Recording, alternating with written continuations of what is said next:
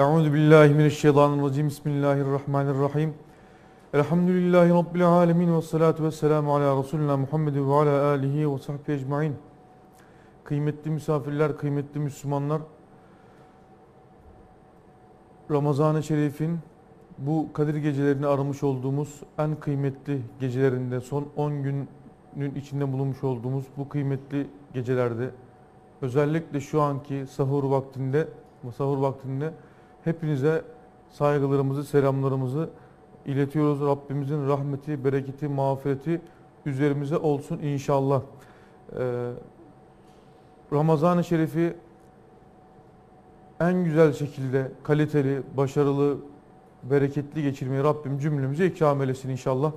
Ramazan-ı Şerif'in şikayetinden cümlemizi muhafaza buyursun inşallah. Ramazan-ı Şerif'in şefaatine cümlemizi nail eylesin inşallah. Tabii ki şu anda bu geceler, içinde bulunmuş olduğumuz geceler, içinde bulunmuş olduğumuz dakikalar, özellikle şu anda bizleri evlerinde misafir eden, bizleri izleyen, sesimizi duyan, sesimizin ulaşmış olduğu bütün e, izleyenlerimiz şu anda hem Ramazan-ı Şerif'in son 10 günü olan cehennemden azat günlerindeyiz. Bir. ikincisi Efendimiz sallallahu aleyhi ve sellem'in Kadir Gecesi'nin son 10 gününü arayın buyurmuş olduğu 10 günlerin içerisindeyiz. Üçüncüsü de Rabbimiz Rabbimiz Celle Celaluhu'nun gecenin üçte ikisi geçip üçte biri kaldığında yok mu affedilmek isteyen af edeyim, yok mu derdi olan derdine derman olayım, yok mu sıkıntısı olan sıkıntısını gidereyim diye nida etmiş olduğu saatlerde teheccüd saatlerinde bulunmaktayız. O sebeple şu anda canlı olarak sesimizi duyan bütün kardeşlerimize bunları özellikle hatırlatmak isterim ki yani bir taraftan kahvaltınızı şu anda sahurunuzu yapıyor olabilirsiniz. Bir taraftan teheccüdünü kılmış, teheccüdünüzü kılmış olabilirsiniz. Veyahut da henüz kılmamış olabilirsiniz. Ama hangi durumda olursak olalım mutlaka şu saatler şu anda konuşmuş olduğumuz saatler duaların kabul saatleri, kabul günleri, kabul ayları, kabul dakikaları, dakikaları o yüzden kıymetli Müslümanlar, kıymetli izleyenlerimiz şu anlarımızı kesinlikle boş geçirmeyelim. Gönlümüzden mutlaka Rabbimizden isteyelim, evlatlarımız için isteyelim, gençlerimizin gençlerimiz için isteyelim ülkemiz için isteyelim, şahsımız için isteyelim. Yani şu anda isteyip de alamamış olma durumumuz biiznillah yok. Hele şu saatte açıp e, bir hoca konuşuyor, dur bakalım bu hoca ne anlatıyor diye e, açmış olduğunuz ortamda yani bu imanı, bu sevgiyi, bu yakini, bu güzelliği de taşıyorsanız sizin bu işe saygınız, sevginiz, muhabbetiniz var demektir ki bu Ramazan-ı Şerif içerisinde af olunmuş olan e, biiznillah kulların içerisindeyiz demektir biiznillah e, inşallah. O yüzden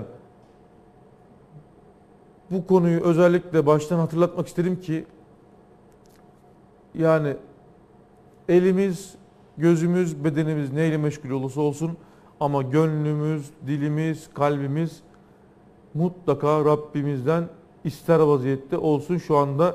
Ee, Rabbim cümlemizin hayırlı muratlarını kabul eylesin inşallah. Şu anda duamıza amin diyen, evladıyla sıkıntısı olan bütün kardeşlerimizin, bütün izleyenlerimizin evladıyla olan sıkıntılarını kaldırsın inşallah. Hasta olan yakınları, çocukları, aileleri varsa onların acil şifalar nasip etsin inşallah borçlu olan kardeşlerimize acil edalar nasip etsin inşallah. Kısacası aklımıza ne geliyor kıymetli Müslümanlar şu anda isteyeceğiz. Rabbimize verecek inşallah. Çünkü Rabbimiz öyle buyuruyor. Lil insane illa ma sa'a buyuruyor Rabbimiz. Herkese çalıştığının karşılığı vardır mutlaka. O yüzden mutlaka biz mücadele etmiş olduğumuz olay neyse onun karşılığını alacağız. O sebeple mutlaka ve mutlaka biz bu inançta olacağız. Çalıştığımızın karşılığını Rabbim bize verecek. O yüzden razı olduğu şekilde çalışmayı da Rabbim bize ikram eylesin, kabul ve karin eylesin inşallah dualarımızı. Kıymetli Müslümanlar, kıymetli izleyenler. Peki Kadir Gecesi'nden bahsettik. Efendimiz sallallahu aleyhi ve sellem hani 10 gece son 10 gününden e, Kadir Gecesi'nin Ramazan-ı Şerif'in son 10 gününde bunu ayrı arayın buyuruyor. Bununla alakalı da e, şunu hatırlatmak istiyorum özellikle. Efendimiz sallallahu aleyhi ve sellem sahabe-i kiram kendi aralarında oturup konuşurken e, diyorlar ki ya diyorlar hani Kur'an-ı Kerim'de eski ümmetler anlatılıyor. 100 sene, 200 sene, 300 sene, 500 sene, 1000 sene yaşayan ümmetler var. Bizim ümmetimizin, bizim ömrümüz ortalama işte 80 sene, 90 sene, 60 ile 80 sene arasında ortalaması bu şekilde bir değişiyor. Onlar 100, 200, 300, 500 seneler yaşarken yaşadılar. Ee, biz onlar kadar yaşamadığımız için biz onların mertebesine gelemeyecek miyiz?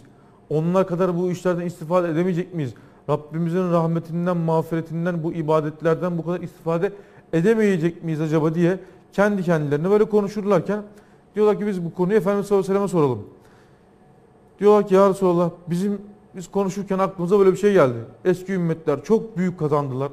Çok büyük e, ömürleri vardı ve bu ömürlerini güzel kullandılar. Tabi bu işi başaranlardan bahsediyoruz. Allah muhafaza etsin ömrü uzun olup da tamamen isyan içinde geçirenler olmadı mı? Oldu. Biz ömrü uzun olmuş ama hep bu işi Rabbimizin razı olduğu şekilde yürüyenlerden bahsediyoruz. Peki bunlar çok güzel bir şekilde uzun ömürlerini Rabbimizin rızası yolunda yürüdüler. Bu işin sahibi oldular. Ee, ve bu işten çok istifade ettiler. Biz bunlar kadar olamayacak mıyız deyince Efendimiz sallallahu aleyhi ve sellem buyuruyor ki siz yeryüzünde çıkartılmış en hayırlı ümmetsiniz. Küntüm hayra ümme. Siz en hayırlı ümmetsiniz. Size ikram edilenler başka hiçbir ümmete ikram edilmedi. Ömür meselenize gelince de size Rabbim evet belki rakam olarak kısa ömrü vermiş olabilir ama Arefe geceleri, bayram geceleri, kıymetli geceler, Ramazan geceleri, Recep, Şaban ayının geceleri ve Kadir gecesi gibi gecelerle beraber Rabbim size o ümmetten, eski ümmetlerin ömründen çok daha fazla mücadele, çok daha fazla kazanacak fırsatlar ikram etti buyuruyor Efendimiz sallallahu aleyhi ve sellem. Ne demek? Yani bir misal verecek olursak kıymetli Müslümanlar bir Kadir gecesini ihya edebilen, ihya etmek, ihya demek diriltmek demektir. Yani bir Kadir gecesini Rabbimizin razı olmuş olduğu şekilde, başarılı bir şekilde geçiren bir Müslüman ayet-i kerimeye sabit 83 yıl 4 aydan yani 1000 aydan daha hayırlıdır buyuruyor Mevla Teala. Yani 83 yıl 4 aya tekabül ediyor 1000 aydan. E, hayırlı ifadesi, şimdi 1000 ay ifadesi ama Rabbimiz dikkat ederseniz e, hayır e, Leyletül Kadri hayrun min elf Yani bin ay demiyor. Bin aydan daha hayırlıdır. Yani en minimumu, en tabanı bu işin 83 yıl 4 aydan daha hayırlıdır buyuruyor Mevla Teala. Bir Kadir gecesini ihya eden bir ümmeti Muhammed'in alacağı karşılık, alacağı ecir. Ama yine üzerine duruyorum bin ay değil bin aydan daha hayırlı buyuruyor Rabbimiz. Yani bu 83 yıl 4 aydan daha hayırlıdır bu gece ihya etmek buyuruyor. Tabii ki bu işin devamında 100 yıl, 300 yıl, 500 yıl hatta Rabbi ile bağlantısı olup o yakini yakalamış. Ya Rabbi sen bunu daha fazla diyorsan sen sınırsızların sahibisin sen bize sınır koymamışsın. Bu mükafatta da sınır koymazsın diye gerçekten selameti kalple düşünen kişiler için de sınırsız bir izinden. Bir karşılıktan bahsediyoruz. Bu ömrümüzde sadece bir defa karşıladığım, karşıladığımız Kadir Gecesi. Kaç yaşındayız? 15, 25, 40, 60, 80. Bakın her sene biz bunu yaşıyoruz ki bunun gibi ne geceler var. Önümüzde Arefe geceleri var. Şimdi bu geceleri hakkıyla ihya etmek, hakkıyla diriltmek, şimdi hesabını yapacak olursak o zaman eski ümmetler bizim yanımızda diyecekler ya, ya Rabbi ki dediler. Biz bütün bu ikram etmiş olduğun ömürleri sayılarını bırakalım. Biz ümmeti Muhammed'den olalım. Ömrümüz ne kadar olursa olsun az da olsa ümmeti Muhammed'den olalım dediler. Çünkü biliyorlar ki ikramların en büyüğü, nimetlerin en büyüğü, peygamberlerin en büyüğü, kelamların en büyüğü, Rabbimizin yakınlıklarının en büyüğü bu ümmete verildi kıymetli Müslümanlar. O sebepten dolayı biz bulunmuş olduğumuz konum itibariyle, bulunmuş olduğumuz durum itibariyle Rabbimizin rahmetine, mağfiretine e, müstahak olmuş en kıymetli insanlar, en kıymetli ümmet olma özelliğimizle bu işin hakkını verme noktasında da en büyük mücadeleyi veren olmak durumundayız. Biz bu içinde bulunmuş olduğumuz kısacık dünya hayatında bu önemli anları, geceleri, dakikaları boş geçirirsek Allah muhafaza eylesin yarın ahirette pişman olmanın geri dönüşü yok. Çünkü dünyada bir iş yaparsın, bir, sıkıntı, bir sıkıntıyla karşılaşırsın, eyvah dersin, özür dilerim dersin, kendini toparlamak için mücadele içine girersin. Ama kıymetli Müslümanlar, ahiretin keşkesi yok, eyvahı yok, bir dahası yok. Şöyle bir fırsat vereyim, bir nefes alayım, bir hak verin bana şunları şunları yapacağım böyle bir şansımız yok. O yüzden biz içinde bulunmuş olduğumuz şu anda bu işin hakkını verebiliyorsak o zaman başarılıyız demektir. Kıymetli Müslümanlar.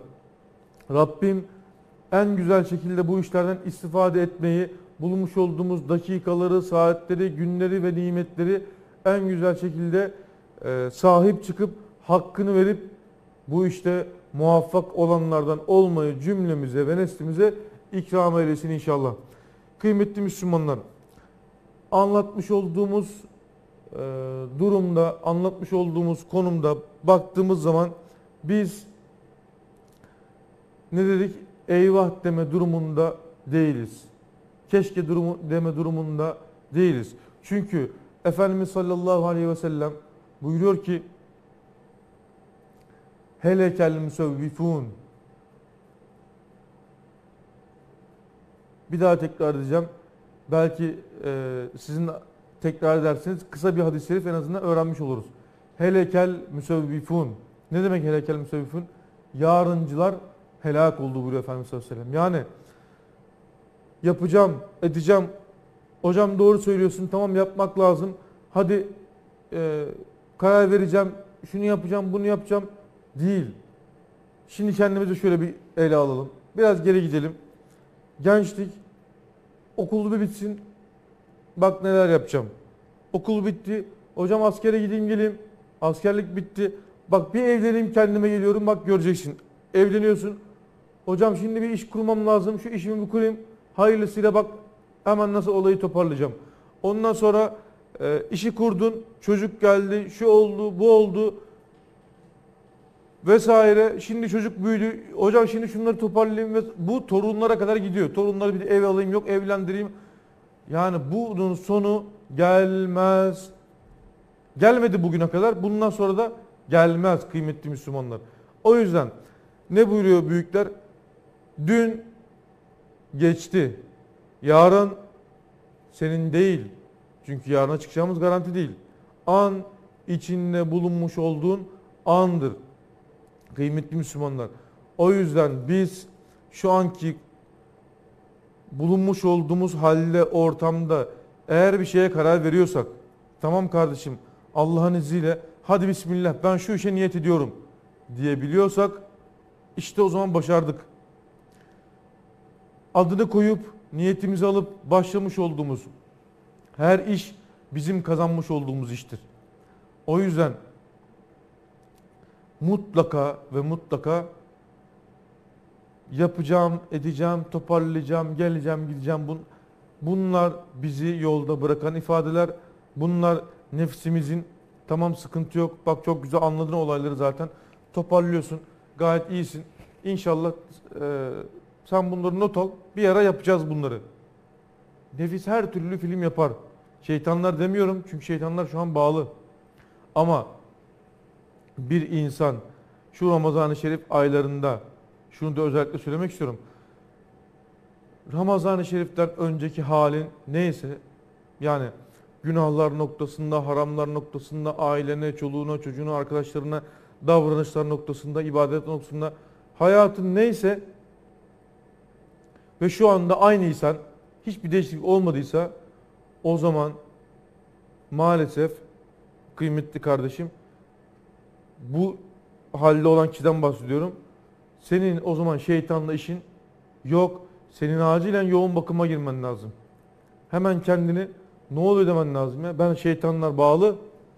Bana vesvese veren, önüme işte e, fısıldayan, yönlendiren, beni sağa sola çeken hiçbir e, dışarıdan müdahale olmamasına rağmen Ramazan-ı Şerif gibi kıymetli rahmet ayında benim hayatımda günahlarda, haramlarda, e, ibadetlerde, e, ibadetlerde artış, haramlarda, günahlarda bir azalma olmuyorsa, aynı Ramazan'dan önceki gibi hayatım devam ediyorsa, eyvah eyvah ne olmuş bana diye kendimize sormamız lazım. O zaman çünkü şeytanın benimle demek ki hiç işi yok. Benim zaten nefsim almış bütün ipleri eline, beni her türlü ne yapıyor? Çeviriyor demektir. Ama yok. Hocam harbiden Ramazan bir geldi. Her şeyim toparlandı. Bir anda işte şu şu ahlaklarım vardı. Bir anda tak diye kesildi. Şunu şunu yapıyordum. Artık yapmıyorum. Ramazan geldi. Şunu yap işte şu güzelliklere başladım. Şu kötülükleri bıraktım. Şu hatalarımdan vazgeçtim diyebiliyorsan o zaman elhamdülillah senin nefs olarak durumun hoş, güzel. Bunu daha da kalitelendirmen lazım.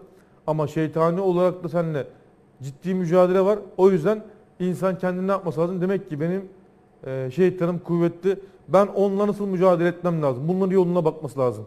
Şimdi Ramazan-ı Şerif'te özellikle bu gecelerde, bu günlerde itikaf günleri biliyorsun son 10 gün itikaf günleridir. Bu itikaf günlerinde insan kendisini ne yapar? Muhasebeye alır.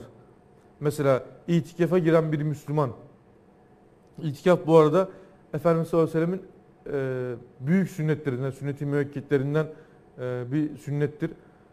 Hatta bir mahallede itikafa giren bir kişi veya kişiler e, yoksa o mahallenin tamamı mesuldür bu vazifeden. Ama bazıları yaparsa o mahalledeki diğer Müslümanlar da o vazifeden muaf olmuş olurlar. İtikafın özelliği, itikafta bir Müslüman nasıl ki ticaret yapan bir insan sene sonunda alıyor kağıdı kalemi eline çağırıyor muhasebecisini. Getir bakalım biz bu sene ne yapmışız? Gelirimiz bu, giderimiz bu, masrafımız bu, harcamamız bu. Bütün her şeyi göz önüne getiriyor. Ne kazanmışız? Elimizde ne var? Bu elimizdekiyle beraber nasıl bir yatırım yapmamız lazım? Nasıl bir genişlememiz lazım? Ee, ne üzerinde yürümemiz lazım? Veya nelerden kısmamız lazım? Nasıl ki sene sonu ekstresi çıkartıyorsanız ticaret yapanlar için söylüyorum. Ramazan'da Ramazan'ın son 10 gündeki bu itikaf günlerinde de bir insan, bir Müslüman şeytanın vesveselerinden arınmış, ibadetlerle beraber yumuşamış, e, nefsi arınmış ve camide geçirdiği için, mescitte geçirdiği gün- günlerinde ibadetlerle meşgul olduğu için kafasındaki dinginliğin zirvesine ulaşmış bir vaziyette oturuyor. Diyor ki ben hem dünyevi hem uhrevi bunu alıyoruz. Ben bu sene Rabbimle aram nasıldı? Rabbime karşı vazifelerimde nasıldım? İbadetlerimde nasıldım? Başarılı bir sene geçirdim mi geçirmedim mi? Bunu alıyorsun, yazıyorsun veya kafanda düşünüyorsun. Şunu şunu şunu yaptım. Aslında bunu yapmayı yapmayabilirmişim. Veya bunu artırabilirmişim şeklinde. Çocuklarımla olan ilişkilerimde, çocuklarımla aram şu durumda. Ben falanca çocuğuma şu konuda biraz daha eğilmem lazım. Filanca çocuğumla bak şunu yaşadım ben bunu bu sene yaşamamam lazım. Veya falanca çocuğumu şu konuda biraz yönlendirmem lazım. Falanca çocuğuma şöyle yapmam lazım. Hanımımla alakalı olan konularda hanımıma şunu şunu şunu telkin etmem lazım. Arkadaşlarımla olan durumları şu şekilde getirmem lazım. İş yerindeki durumlarımı şöyle yapmam lazım vesaire vesaire vesaire. Hayır konularında şu işe dikkat etmem lazım. Yani adab-ı muaşeret kurallarından tutun da Rabbinizle alakalı olan durumlardan maddi ve manevi mahallenizde, işinizde, gücünüzde her konudan nasıl ki sene sonu ekstresi çıkartıyorsanız işte Ramazan'da bir müminin yıllık Z raporunu almış olduğu günlerdir. O yüzden bu gecelerde itikafa girmenin en büyük özelliklerinden bir tanesi Efendimiz sallallahu aleyhi ve sellemin Kadir gecesini Ramazan-ı Şerif'in son 10 gününde arayın ifadesi gereğince bir Müslüman kendisi mescitte geçirdiği zaman son 10 günü yatsı namazını zaten cemaatle kılıyor teravih. Ee, sabah namazını cemaatle kılıyor. Gecenin teheccüdünü kılıyor camide vakit geçirdiği için. Geceyi ihya etmiş oluyor. Yani 10 gün kaldığı zaman illa Ramazan, illa Kadir gecesini ne yapıyor? Yakalamış oluyor. Ve bu niyetle bunu yaptığı için de Allah'ın izniyle her gününe bile Kadir gecesi sevabı alma durumu söz konusu mu? Evet. Ama ikincisi olarak da e, biraz önce bahsetmiş olduğumuz kişinin kendisini e, bir hesaba çekip maddi ve manevi kendini toparlama noktasında, muhafaza etme noktasında eksiklerini tamamlayıp artıya geçme hususunda projeler yapma durumu içinde çok büyük fırsattır bu itikaf günleri.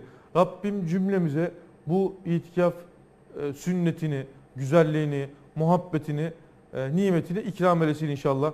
Çalışan kardeşlerimiz vardır. Çalıştıkları için itikafa giremiyorlardır. Mutlaka niyetlerini alsınlar. E, müsait oldukları bir sene ben bir 10 günümü inşallah itikafa gireceğim e, diye niyetlerini alsınlar inşallah. Yani defterlerinde mutlaka bu yazılsın. Ömürleri bile yetmese bu niyetiniz olsun ama. Ev hanımlarımız için, hanım kardeşlerim için eğer ki e, dışarı çıkmıyorsanız, zaten evde geçiriyorsanız evinizde de itikafa niyet edebilirsiniz. Bu istifadeleri, bu nimetlerden, e, bu güzelliklerden istifade edebilirsiniz. İnşallah e, Rabbim anlatılanlarla en güzel şekilde amel etmeye cümlemize ikram eylesin inşallah. E, ben hem kahvaltınızı yapın hem sahur, sahurunuzu yapın inşallah. Hem de bu kadar konuştuk bir teheccüd namazı kılın için bir vakit bir araya gitmek istiyorum inşallah. Kısa bir ara yapacağız.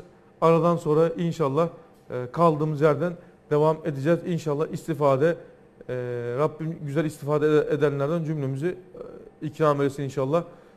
Aradan sonra görüşmek üzere.